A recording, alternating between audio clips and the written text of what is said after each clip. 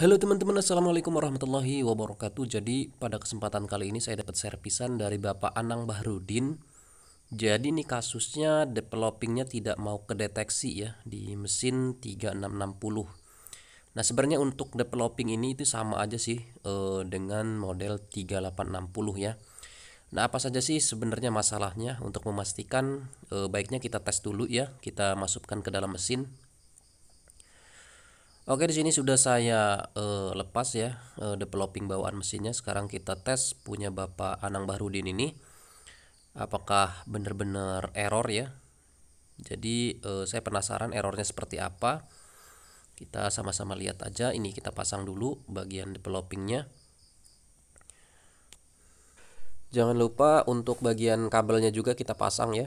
Karena kalau misalnya nggak dipasang ini bisa nyebabin error juga kita cek lagi untuk memastikan bahwa kabelnya itu benar-benar harus terpasang dan terkoneksi dengan developing.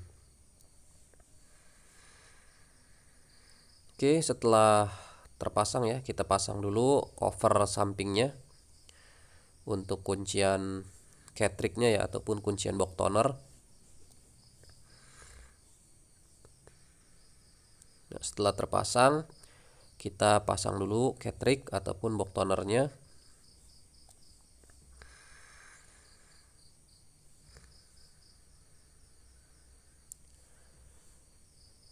kita kunci. Berikutnya kita masukkan ke dalam mesin. Kita akan lihat notif errornya seperti apa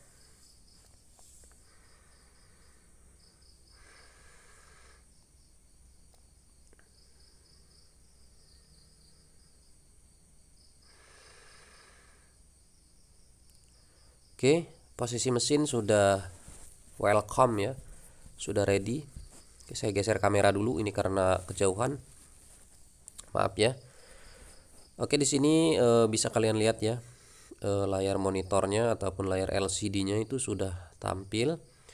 Ini tipe mesin 3660. Nah, kalau yang status job cancel ini ini karena memang minta ganti ini biasanya ya uh, chip toner.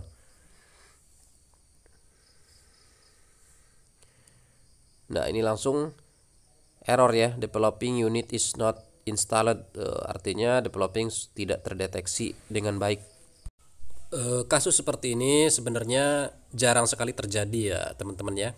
Tapi kemungkinan bisa juga terjadi akibat developing yang memang sudah uh, rusak ya jadi yang mengalami problem seperti ini nggak perlu sih sebenarnya buru-buru langsung mengganti developing satu unit ya. Karena seperti yang kita ketahui harga developing satu unit itu lumayan ya. Oke, saya matikan dulu. Sekarang kita buka lagi developingnya yang tadi ya. Kita akan coba untuk melakukan perbaikan saya tutup dulu biar aman ya takutnya ada hewan ataupun benda-benda kecil yang masuk ke bagian drum. Oke ini developingnya. Kasus developing ini sebenarnya terjadi di bagian elektroniknya biasanya ya. Jadi kita langsung saja menuju di bagian elektroniknya. Ini biasanya ada beberapa titik yang e, mesti dicek dan juga diperbaiki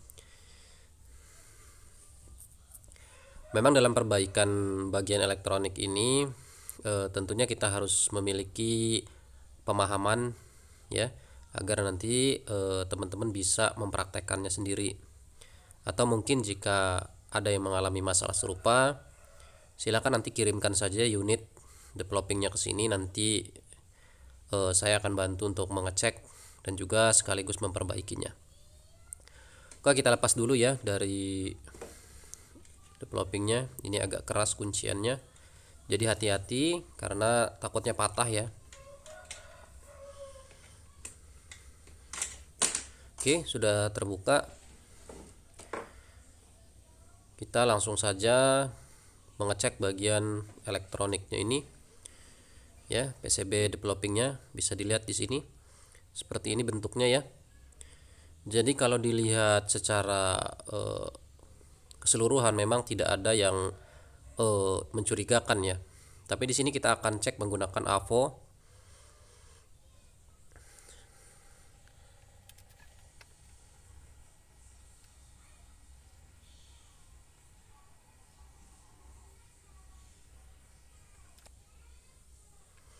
Oke, jadi setelah dicek eh, tadi ya, ini ada beberapa yang short. Jadi kita harus eh, perbaiki titik-titik komponen yang shortnya. Nanti kita akan coba untuk uh, pasang lagi ke bagian uh, developingnya kita siapkan dulu alat-alatnya ya terutama uh, solder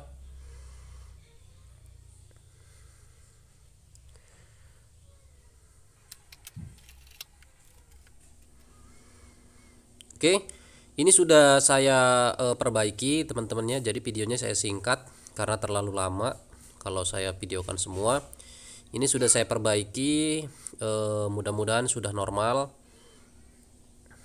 Sudah saya e, cek tadi yang mana-mana yang putus dan sudah e, ketemu ya. Ini sudah diganti. Sekarang adalah kita akan pasang lagi ke bagian unit e, ininya ya apa bagian developingnya jadi posisinya seperti ini. Lalu kita kunci menggunakan tutup ini ya. Ini tutupnya udah lecet-lecet gini ya mungkin bekas di praktek dengan Bapak Bahrudin ya.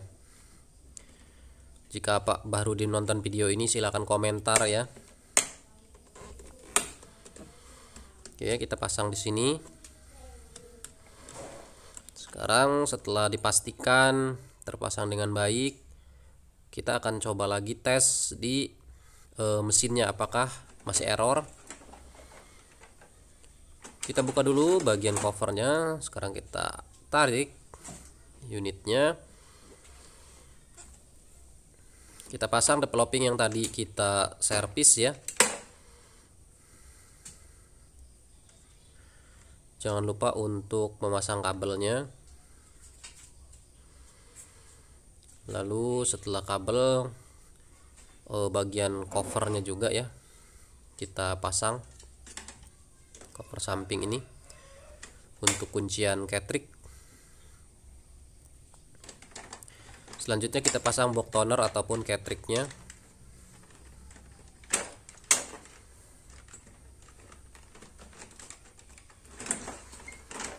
Oke kalau sudah kita masukkan unitnya kita tutup lalu kita akan tes apakah errornya masih atau sudah hilang.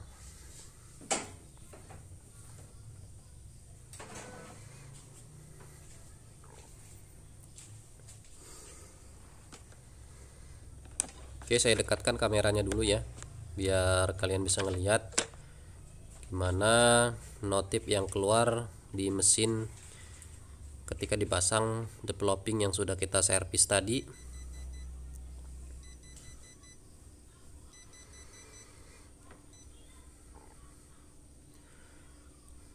non guin toner kalau ini dia minta chip ya. Ini enggak jadi masalah.